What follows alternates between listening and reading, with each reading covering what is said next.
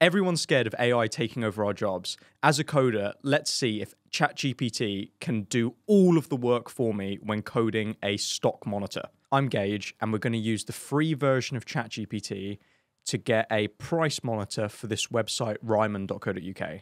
The end goal of this is for it to send us a Discord notification every time the price drops below 44.99.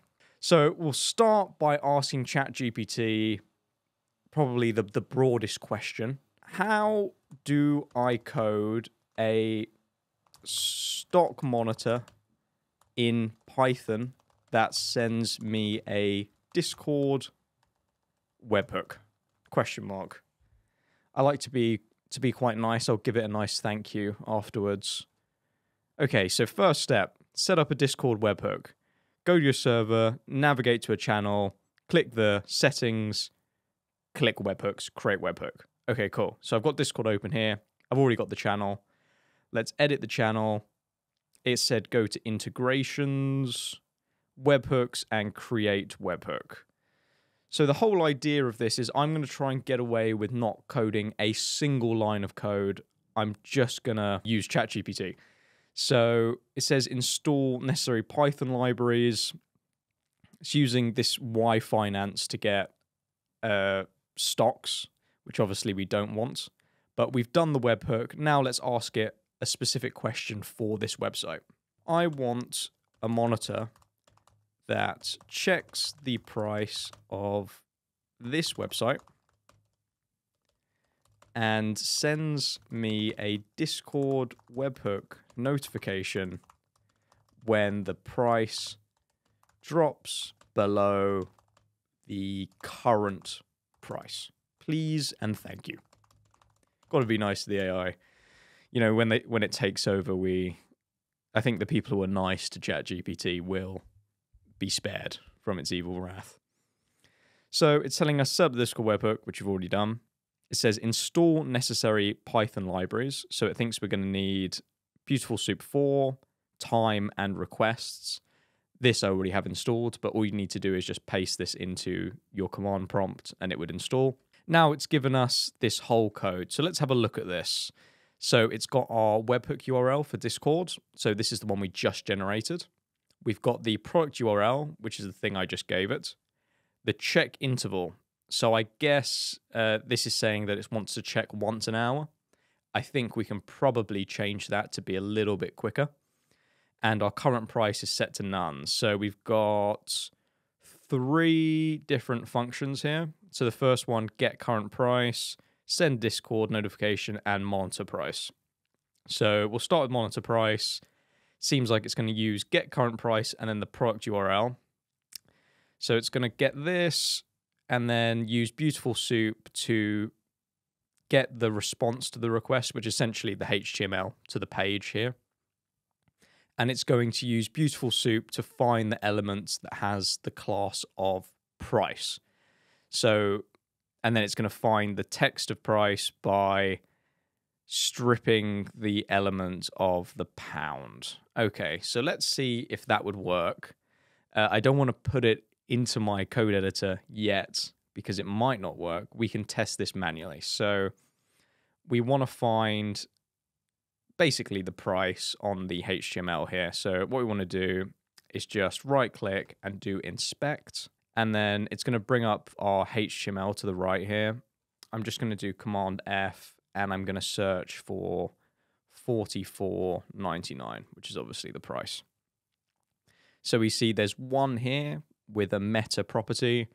I think that's not the one it's going for. It's going for one called span, which might be wrong. Uh, let's keep trying to dig and see if there's one with span.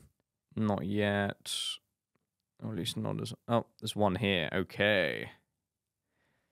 Span, class, price, and it's got the price there. And then it is finding the elements, if price elements dot get text. So it's getting the text from this element, which is this bit here, the 44.99, and is stripping it of the pounds. Wow, I have to say, I thought there'd be more back and forth here, but this looks really good. And then for the webhook, if the price is lower than the current price, uh, then it is going to do the send Discord notification, and then it executes this function, and it sends a request to the webhook with the message data that we can fill in here. Okay, that is really good. That does look pretty insane. We're going to just copy this and we're going to test if it works in our editor over here. Right, I've pasted it in. We just need to fill in a few boxes. So webhook URL, what we generated here earlier, which is exactly what ChatGPT said. paste that in. We've got the product URL. I think the check interval will change to 10 seconds. Current price, because the price isn't going to change, we'll set the current price to 50. And just need to see if this is an integer or a string. Okay, it looks like it's an integer, so I'll just set that as 50. And then I think we're good to go. It's already got the message filled in for us. This is completely insane. I didn't think it would be this good. Let's see if it works. So we'll just right click the top here and we'll just do run ChatGPT. And we'll see if it works. Okay, current price 49.99, which is what I set up here, and it's detected that it's 44.99. It says notification sent successfully. Let's take a look at our Discord. Oh my god. It is here, guys. Uh, uh, the price, it looks like there is a bug here with the. Why does it think it's £50? Oh, we might have a bug here. Let's stop this running. It thinks that the price of the element is forty nine ninety nine, but actually it's forty four ninety nine. So I wonder where that's being picked up. Forty nine ninety nine. It's probably picking up this, which is the old was price. Ah, so we do have a bug with ChatGPT. So I wish I could just fix it because it's a pretty easy bug to fix, but we're going to ask ChatGPT to fix it for us. This code brings up the was uh, the was price for this product. I need it to pick up the current price. Can you change the soup.find to, and we're still not going to write any code.